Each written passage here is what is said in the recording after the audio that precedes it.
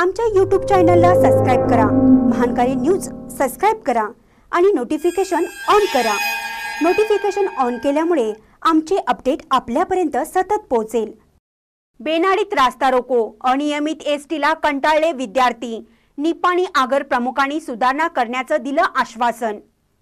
हुपरी आणि निपाणी या मार्गावरून धावणारी निपाणी आग्राची एस टी गाडी कधीही येते आणि सुसाट निघून जाते. त्यामुळे विद्यार्थी नोकरदार आणि शेतकऱ्यांचं नुकसान होत आहे.